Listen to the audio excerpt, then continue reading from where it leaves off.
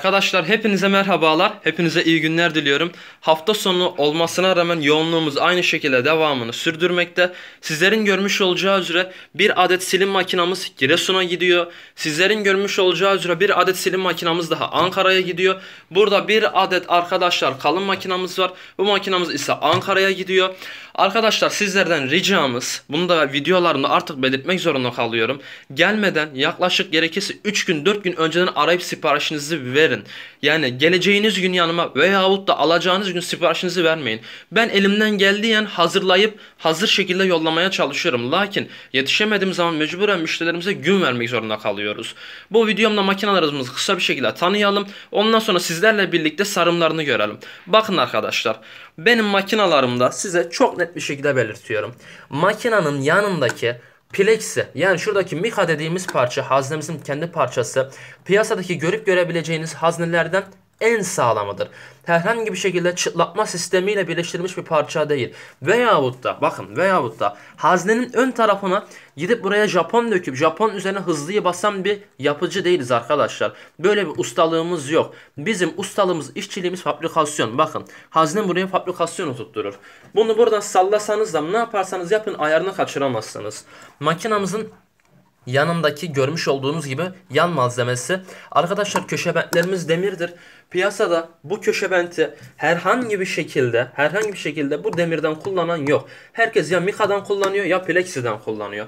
Aynı şekilde sol arka taraftaki hazneyi bağlayan tarafımız yine aynı şekilde demirden. Haznemizin sıkılık gevşeklik ayarı, haznemizin açıp kapama paneli, haznemizin arkasındaki çarkı dahi Mika'dan değil.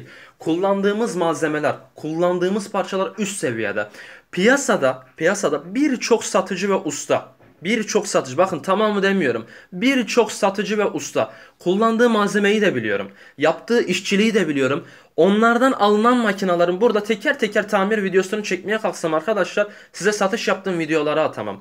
Alan kişiler aldıkları makinayı geriye tamir ettiremiyor. Adamlar yana yana geriye tamirci arıyor. Anlatabildim mi arkadaşlar? Bunlara dikkat etmeniz gerek. Sayfamı izleyin, videolarımızı inceleyin. Kafanıza en fazla yatan yerden alışveriş yapmaya çalışın.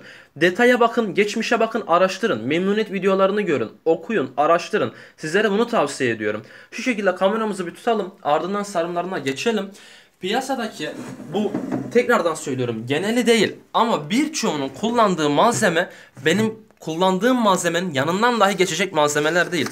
Yani videolarda arkadaşlar öyle boş konuşmakla veyahut da herhangi bir şekilde makinalarının ne idüğü belirsiz bir şekilde yapmakla usta olunmuyor. Adam kalkıyor daha 6 ay olmuş, 7 ay olmuş. işin içine giriyor, ustayım diye bağırıyor. Adam sattığı makinenin tamirini yapamıyor ona bakarsanız. A'dan Z'ye tüm yedek parçalarımız da mevcut. Tamirimizi de bakıyoruz, bakımımızı da yapıyoruz. Her türlü müşterimize yardımcı oluyoruz. Bugüne kadar bizden alışveriş yapıp da tek bir kişinin dahi mağduriyeti olmadı. Bakın iddia ediyorum tek bir kişinin dahi bizlerden alışverişini yapan bir buçuk sene olmuş. Müşterim beni unutmamış ben müşterimi unutmuşum. Bir buçuk sene sonra makinesini bakıma yollattı buraya. Sayfasını aldım videosunu da çektim. Açıp bakabilirsiniz. Silim makinamız teker tütünü sarıyorum. Tek bir tane dahi tekleme yapmaz. Tek bir tane dahi durma duraksama yapmaz. Fabrikasyon bir şekilde dolumlarını gerçekleştirir arkadaşlar. Bir saralım. En sonunda sarımlarımızı bitirelim. Yırtımını gerçekleştiririz. Böyle bir tütünde. Bakın tütünü şimdi göreceksiniz. Böyle bir tütünde. Böyle bir ince. Hele ki delikli Watson arkadaşlar. Bakın sarılması en zor olanlardan. Delikli Watson böyle bir tütünde, iri kıyım, böyle bir makaronda, böyle bir performansı sergileyebilecek bir makine varsa ben burada hodri meydan diyorum arkadaşlar. Kullandığım dört kola, kullandığım bıçağı, kaçığa kimse piyasada aynı malzemeyi kullanmıyor. Şu şekilde. Bıçak vardır, bıçak vardır. Kaşık vardır, kaşık vardır. Malzemeden malzemeye fark eder. Malzemeden malzemeye göre kalite değişir. Bakın. Delikli Watson dedik. En dip noktasına kadar atımını gerçekleştirdi. Bakın ben bir şey yapmıyorum. Kökünden dökme, ucundan bırakma asla yapmaz. Tütün tozlu olmasına rağmen bunu ne kadar sallarsanız sallayın tek bir şekilde dökme yapmaz. Kim demiş ucundan dökme yapıyor? Yapmaz arkadaşlar. Bakın. Şöyle. Ortayı gördünüz. Bu gövde dolumudur. Bu kök dolumudur. Bunu bu sefer açıp direkt Bakın şu bileziktir. Bileziğin altından yırtacağım. İyi bakın. Gördünüz mü?